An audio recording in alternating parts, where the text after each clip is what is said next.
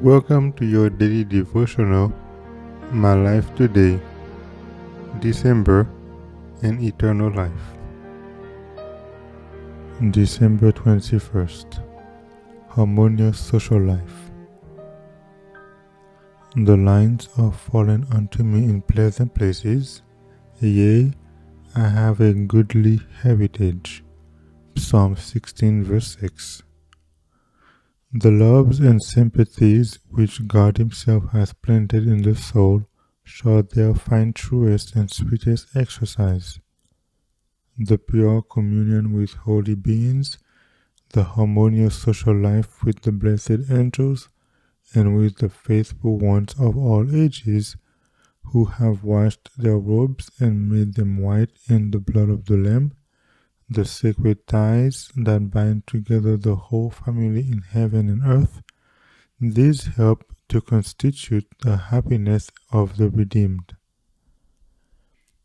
Amid the ransom throng are the apostles of Christ, the heroic Paul, the ardent Peter, the loved and loving John, and their true hearted brethren, and with them the vast host of martyrs. Heaven is full of joy.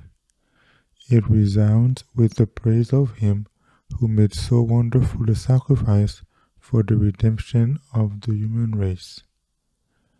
Should not the church on earth be full of praise? Should not Christians publish throughout the world the joy of serving Christ? Those who in heaven join with the angelic choir in their anthem of praise must learn on earth the song of heaven, the keynote of which is thanksgiving. Everything in heaven is noble and elevated. All seek the interest of happiness of others. No one devotes himself to looking out and caring for self.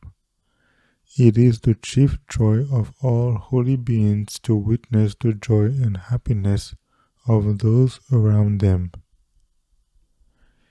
If you have trials here and feel lonesome, look away from this dark world to the bright glories of heaven.